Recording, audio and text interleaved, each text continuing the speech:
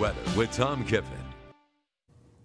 And not too bad of a summer day across upper Michigan today, and it turned into a pleasant evening as well. As we look at our infrared satellite picture, we can see that we do have some high cloudiness starting to move into parts of the UP, especially near the Wisconsin border. And you can see at the bottom part of your TV screen, we do have some rain showers across parts of the Northwoods of Wisconsin and moving into Green Bay and the Fox Cities. But those rain showers will stay to the south of the Michigan-Wisconsin border. Here's a look again at the Keweenaw Peninsula. Rainfall amounts just unbelievable Hancock picking up almost seven inches of rain. Houghton had a rain measurement of 6.3 inches, while the Houghton County Airport north of town, north of Houghton and Hancock, picked up 6.23 inches. Laurium, 6.22 inches of rain. Freda, four and a half inches of rain. Kearsarge, about two and a quarter inch of rain. And Copper Harbor picking up an inch of rain, and that's pretty good with even an inch of rain. As we look at the rest of our weather forecast, what's ahead, we're looking at dry weather for the rest of this week. And during the afternoon hours, we will have warm temperatures, but we will have a couple of cool nights.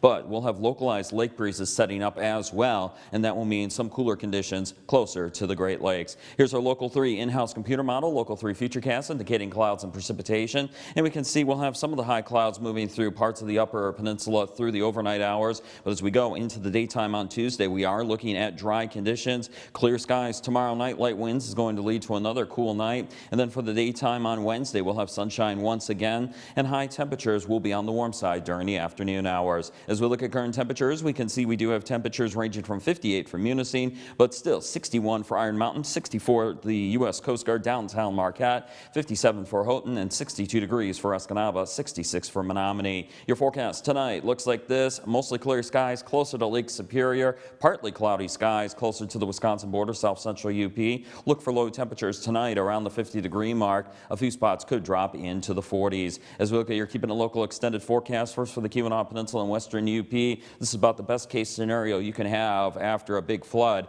We're looking at multiple dry days with some cloud cover, but otherwise we're looking for sunshine during the day and warm to mild temperatures as well during the afternoon hours. Highs will range from the 60s along the lake shores to 70s in most locations. By Friday, we could have a couple of 80 degree readings well inland towards Kenton and over towards Rockland. As we look at the Marquette, keeping it local extended forecast, Marquette County, same deal. We're looking at temperatures that will be in the 70s right through Friday, maybe an 80 degree reading well inland, south of Gwinn over towards Witch Lake. And then as we get into Saturday, we'll have a slight rain chance. As we go to the south central UP, we're looking at temperatures in the 70s right through Saturday with sunshine, maybe a few afternoon clouds, but those will be fair weather cumulus clouds.